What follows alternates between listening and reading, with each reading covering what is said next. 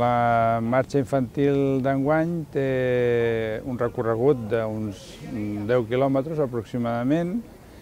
Va des de Sant Cugat per l'hípica Can Calders fins a, fins a Can Coll i després torna passant per la Font de Sant Pau i el Pi del Xandri a, i el Centre Borja fins a Sant Cugat. Eh, serem,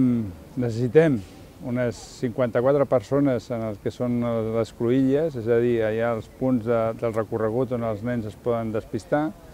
Després hi ha set controls de pas, que cadascun d'ells en té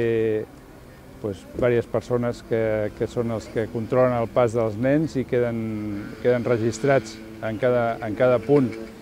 eh, el moment en què, en què,